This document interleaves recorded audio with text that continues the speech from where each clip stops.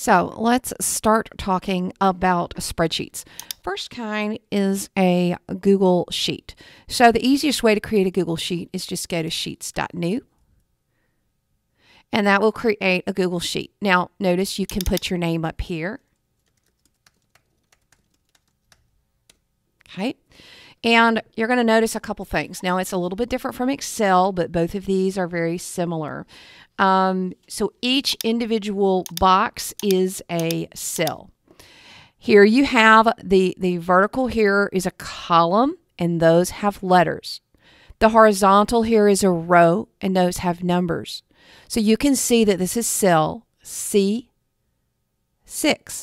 or I can have cell H10. Now, there's multiple ways to move around. You can see I am clicking right now with my mouse. I can also use my arrow keys, down key, up key, right key, left key. That's one way. Or if I am typing, okay, if I am typing, I just pressed enter and I went down I pressed tab and I went right. Now I'm using the arrow key.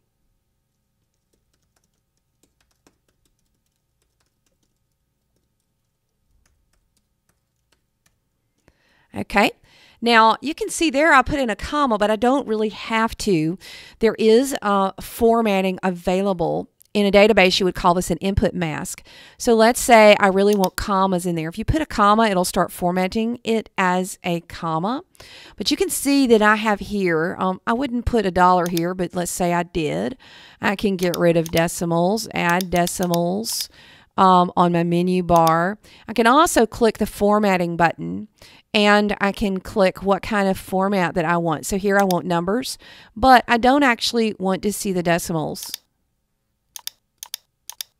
Okay, and then here I want numbers. Now, you can also select cells because if you see, if I type about us, now it did not format it underneath, and that can be frustrating. You can also select ranges. So to select a range, you can click and drag, and I want to format all of these with the commas. So I'm going to click here on my numbers. I'm going to click there on the commas. And then I'm going to get rid of the decimal places and it's going to format those numbers or those ranges. Now, notice in the top, we typically use these for our labels because we're going to make charts out of them. Um, also, notice that I can make the cell wider if I want to, and that's the whole column. I can even make it taller. You notice, look at the mouse pointer. See, the mouse pointer looks like an arrow here.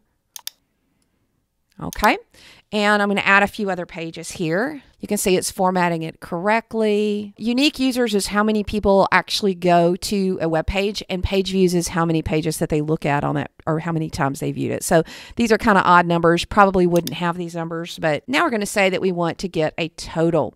There's a couple ways to get a total. You can have the auto sum button, which does it for you. You can see functions here, and it's got all kinds of functions in here. But if I just click sum, and then I drag my range here, and I press enter, then you can see that is my total unique users. Let me do the same with page views. Now, I can do the equal sum and see it's suggesting what it wants to do. And now I'm also going to do the average. Now, when you do an average, you have to be careful not to include, like, I wouldn't want to include the total in that. Okay. Now, the other thing you can do is say I want the average of these page views. I can just click this little plus and I can drag it over to the right. And now I have my average. You've got other things you can have. Maximum, which is the highest number, and it suggests the max. Okay. And then I could have my minimum, which is my lowest number. and it's actually suggesting that. So it's got some AI built in, a little bit of intelligence there. I can click these and I can drag it over and notice that it drug over that formula there in row 9 and the minimum formula there in row 10. Now, um, this is just a typical um, spreadsheet here. Now, the other thing that I can do, and it's going to help me with this, is if I highlight all of this and I say insert chart, it is going to give me a suggested insert of my chart and you can see it's showing unique users and page views. It went ahead and did that for us. Um, I probably wouldn't do it any other way, but there are other charts that I can do. Um, it did suggest the best one. Sometimes it doesn't. Um, but here's the cool thing about spreadsheets and why we use them. Some folks are like, well, why don't I just do all of this manually? And why do I need these formulas? Um, and why do I need these charts? Let's say um, this number was wrong and it was actually 200 thousand and something. See how I change that number and it changes that. And let's say, okay, I made an error on the news. I can actually, you see this eight, 877,000. Let's say that first number was actually three. I can also click up in the formula bar and edit this number. I'll put five there. These numbers didn't grow. What you want to notice, let me show you that again. Um, I'm going to click there. I'm going to back up and put the 8 again. I want you to watch the left hand axis right here. I want you to watch that when I put in this 8. Okay, see now this is this top number is now a million.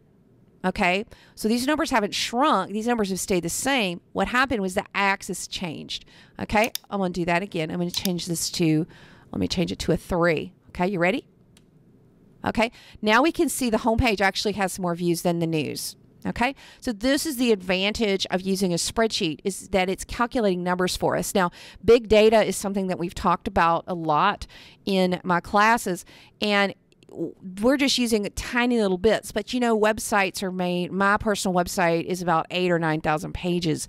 So it's very helpful to be able to have charts and have the most uh, important information come up there. So let's review a couple things that we've we've commented on. We can change the title up here at the top. Each of these individual boxes highlighted in blue is a cell. The vertical columns these are columns and they are uh, spelled out with letters. Rows are horizontal, and those are numbers. This is cell B3. You can see that there. We can move around on the page. We can use the, the mouse by clicking. We can also use our arrow keys. We can use the tab key, which goes to the right. We can use the enter key, which goes down. We can select a range by highlighting. Let's say that I wanted to highlight this and make it bold. Or I wanted the whole thing to be a tad larger. Now it's larger. I can actually change the size of the column. And remember, if I want to type over a number, I can either just type over the number directly in the box Okay. Or I can come up here and add a number on the front. Ooh, that changed everything, didn't it? And remember, the axis right here adjusts by the numbers. Let's go ahead and let's fix that. Okay. Now, if I make a really uh, a mistake here, so let's say I put a space in front here. Let's see if it'll do it or I'll put a semicolon. Okay, now this adjusted, but that's no longer a number, so it was taken out. Usually in Excel, it'll give you an error message. Okay, so there is just basic information on a Google Sheet. And I can also highlight my data to make a chart. But just remember, I didn't highlight this information, the totals, average, maximum, minimum, because I really just want to chart my actual pages. Okay, and a little bit of analytics. Unique users is how many unique individuals go to a page, and page views is how many times they viewed those pages. Typically, your unique users is lower than your page views.